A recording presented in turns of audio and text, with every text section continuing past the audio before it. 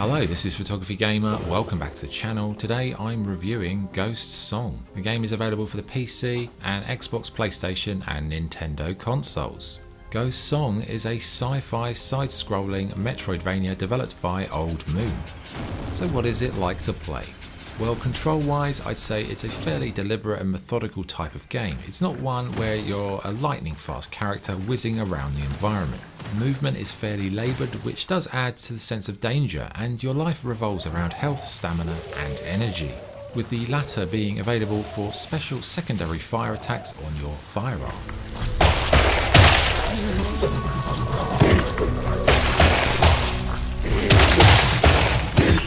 So what do you actually do in Ghost Song? Well, exploration is the key, and as you explore the desolate world, you'll fight varied enemies, hoover up nano gel, find modules you can attach to your suit, and take on some fairly underwhelming bosses. The nano gel is dropped by dead enemies and can be used to level up your suit or purchase items from traders.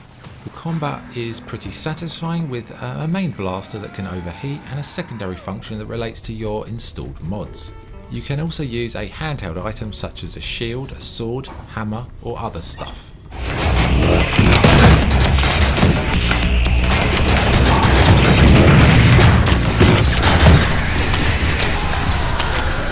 The game is a balance between exploring for long enough to get to the next checkpoint, but if you die in between you drop your nanogel and you've got to go and retrieve it.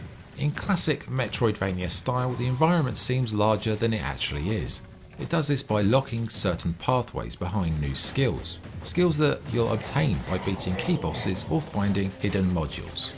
Enemies range from twisted robots, infected humans and bizarre creatures with enough variety to provide a sustained challenge.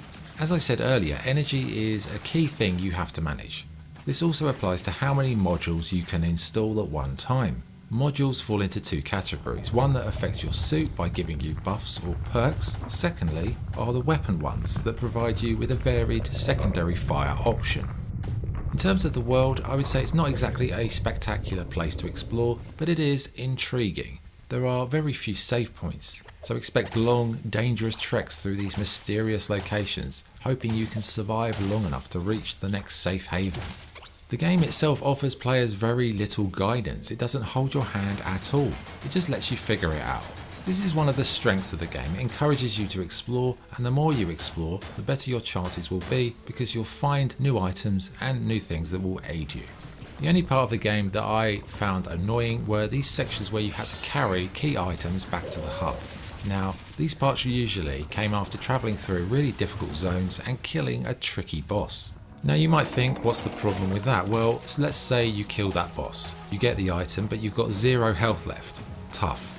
You've got to travel all the way across the map to the hub, and if you die, too bad. You're back to the point of origin, but the key difference to the rest of the game is you don't get any health back. And now this could really break the game for a lot of gamers. I mean, for me, it took three hours at one point to get one thing back to the, the, the hub. Very annoying.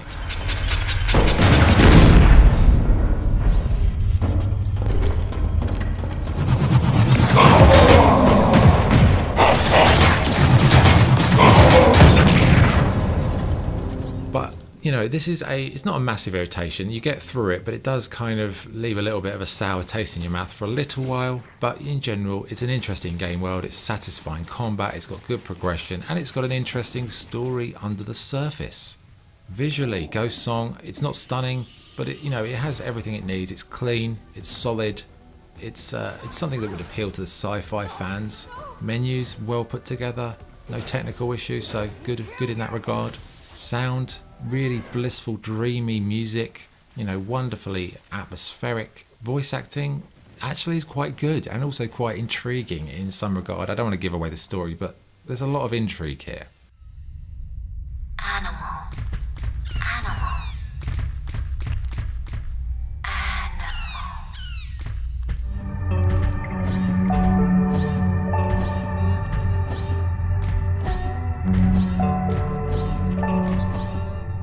Okay, good and bad points. What's good? It's a very hard game to stop playing. The simple loop and satisfying gameplay keep you engaged throughout the whole story. Combat is deliberate but enjoyable. Progression is very well balanced and it's a pretty immersive world to explore with some really interesting characters. Bad points, gameplay can be a bit slow and laboured. There is very little in the way of map signposting, meaning you'll really be wandering around for hours. The boss fights are pretty bang average, and carrying shit parts across the map will drive you nuts. Okay, verdict. Ghost Song is a top tier Metroidvania with addictive, satisfying, and compelling gameplay. Yes, it may be quite obscure, and it leaves you to figure out everything for yourself, but in an age where AAA games are being ruined by constant handholding, Ghost Song is a refreshing, independent experience. In terms of progression, it's bang on the money, and story wise, it's really good as well. Probably the best indie Metroidvania I've played since Salt and Sanctuary a few years ago. Really enjoyed it from start to finish, and I would definitely recommend it to fans of the genre. So, scoring, I'd give Ghost Song, I'd give it an 8.5 out of 10. That's the review. Thanks for watching. This is Photography Gamer signing off. Cheers.